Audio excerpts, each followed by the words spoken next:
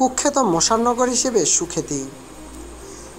তানজানিয়ার ছোট্ট শহর ইফ- ইফাকারা শহরটিকে বলা হয় সিটি অব মস্কিটো অর্থাৎ মশার নগর মশার জন্য কুখ্যাত হলো ম্যালেরিয়া গবেষণায় এই শহরের আন্তর্জাতিক সুখ্যাতি রয়েছে।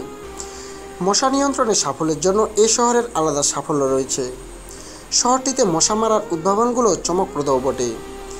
কিলম্বারো জেলার সদর দপ্তর ইফাকারা দেশটি প্রত্যন্ত এক শহর। ইফাকারা শব্দটির অর্থ যেখানে আমি মৃত্যুবরণ করি। নামেই বোঝা যায় বসবাসের জন্য শহরটি আসলে কেমন। এই শহরে মানুষ জন্মের পর থেকে আসল কাজই যেন মশার কামড়ে রোগাক্রান্ত হয়ে মৃত্যুর অপেক্ষা। সেখানে মশার কবল থেকে মানুষ বাঁচাতে দীর্ঘদিন ধরে কাজ করছে বিখ্যাত ইফকারা হেলথ ইনস্টিটিউট। তাদের অক্লান্ত পরিশ্রমে মশা ও মশাবাহিত রোগে মৃত্যুহার অনেক কমেছে।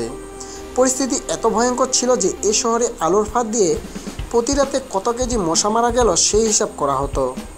আইএইচআই এর চেষ্টায় দেশটিতে গত সতেরো বছরে ম্যালেরিয়ায় মৃত্যু আর শতকরা ষাট ভাগ কমেছে।